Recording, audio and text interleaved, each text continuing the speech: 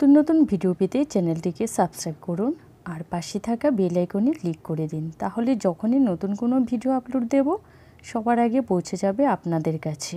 Hello friend আজ আমি আবার একটি নতুন রেসিপি নিয়ে তোমাদের সামনে হাজির হলাম। এতদিন তো মিষ্টি খাওয়ালাম, তো ভাবলাম এবার আবার অন্য কিছু একটা তোমাদের জন্য নিয়ে আসি। তো এখানে আমি তৈরি করেছি অনুষ্ঠান বাড়ির মতোই শুক্তো রান্না।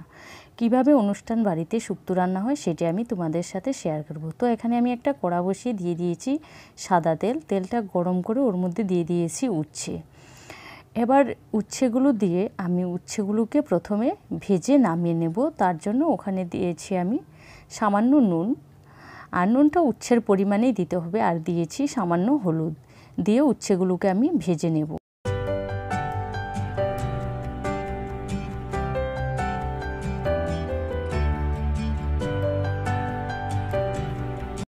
উচ্ছেগুলো আমার ভাজা হয়ে গেছে, এবার আমি এগুলোকে এর মধ্যে দিয়ে দিচ্ছি কিছু পটল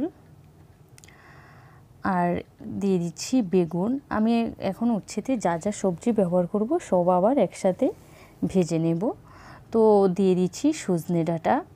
আর এখন যেহেতু লকডাউন চলছে, তাই ঘরে যা সবজি ছিল তাই দিয়ে আমি তৈরি করে নিচ্ছি। দিয়ে দিচ্ছি মিষ্টি কুমড়ো আর দিয়ে দিচ্ছি আলু।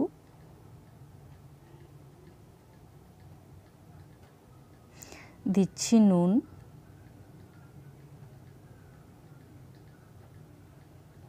আর দিচ্ছি হলুদ। এবার এই সমস্ত সবজিগুলোকে আমি ভালো করে ভেজে নেব।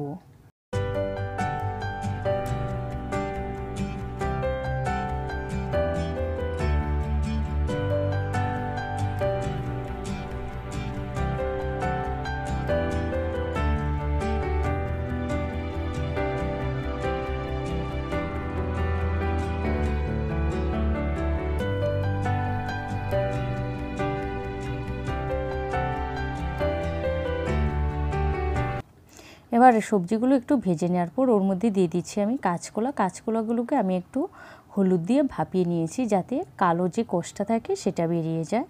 তো আবারও আমি কাঁচকলা দিয়ে সবজিগুলোকে দু তিন মিনিটের মতো ভেজে নেব।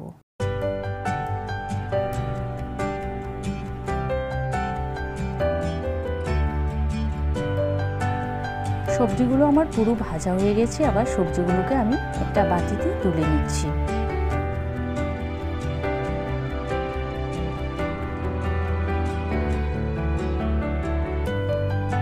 সবজিগুলো তুলে নিয়ে ওই একই প্যানে আমি দিয়ে দিচ্ছি এক টেবিল চামচ সর্ষের তেল আর দিয়ে দিচ্ছি এক টেবিল চামচ ঘি।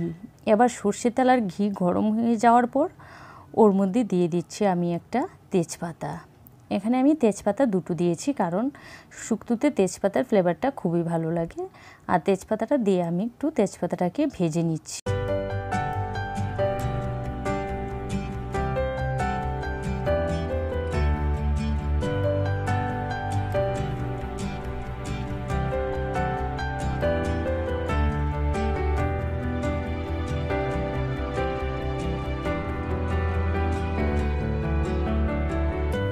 তেজপাতাটা ভেজে নেওয়ার পর এর মধ্যে দিয়ে দিচ্ছি আমি হাফ চা চামচ পাঁচফোড়ন। আবার পাঁচফোড়নটাকেও আমি একটু ভেজে নেব।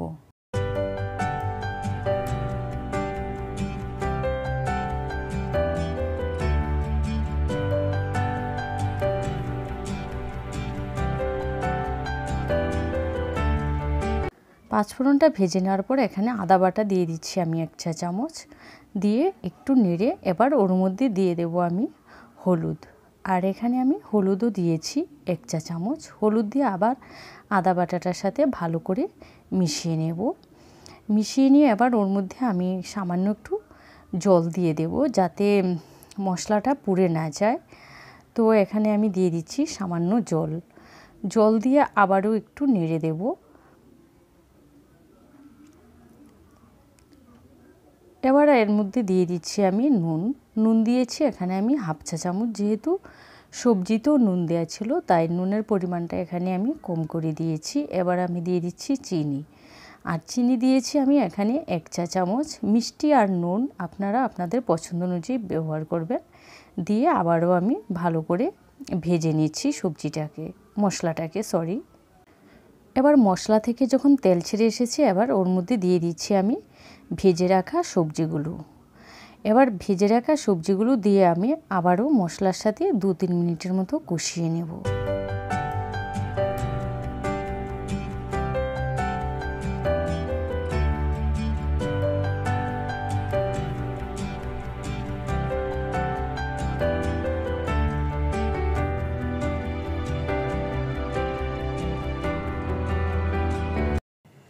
এবার তিন মিনিটের মতো সবজিটা মশলার সাথে কষিয়ে নেওয়ার পর এখানে আমি দিয়ে দিচ্ছি দুধ।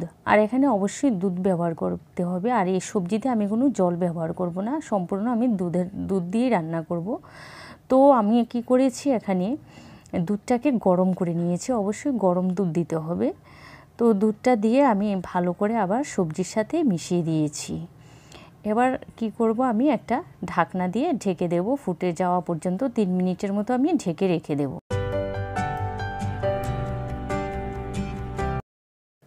ফিরে আসলাম তিন মিনিট পর। তো ততক্ষণে সবজির দুধটাও ফুটে উঠেছে। এবার এর মধ্যে দিয়ে দিচ্ছি আমি ভেজে রাখা বড়ি। আর অবশ্যই এর মধ্যে বড়িটা ব্যবহার করতে হবে, কারণ অনুষ্ঠান বাড়িতে কিন্তু এভাবেই রান্নাটা হয়। আর শুক্তোতে অবশ্যই বড়ি দিতে হয়, না হয় খেতেও খুব ভালো লাগে না। এবার বড়িটা দিয়ে আমি কি করব? আবারও দু তিন মিনিটের মতো ঢেকে দেব।